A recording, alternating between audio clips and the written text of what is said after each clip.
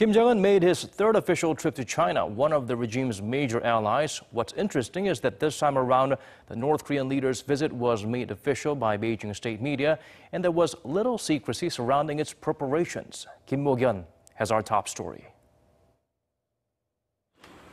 On Tuesday, China's foreign ministry confirmed North Korean leader Kim Jong un's surprise trip to Beijing, calling it a visit intended to strengthen strategic communication between the two countries. We hope this visit can help to further deepen China-North Korea relations, strengthen strategic communication between both countries on important issues, and promote regional peace and stability. But the visit was not too much of a surprise.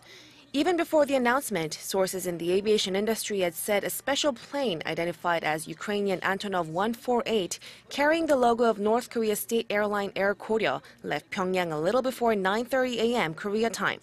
Japan's Nikkei newspaper had also reported that Kim had been preparing for a trip to China as soon as Tuesday.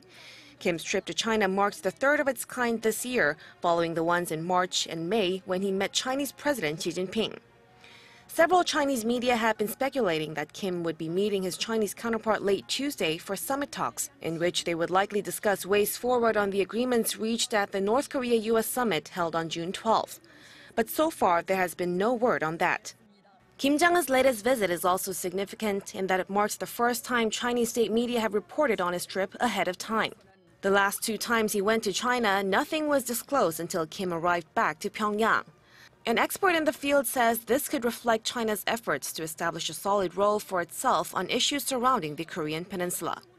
Uh, by uh, openly announcing the, uh, Kim's third visit to Beijing, it seems like uh, Chinese government uh, wants to um, you know, have the uh, guarantee of its participation in the upcoming multilateral discussions and negotiations on uh, announcing the end of the Korean War.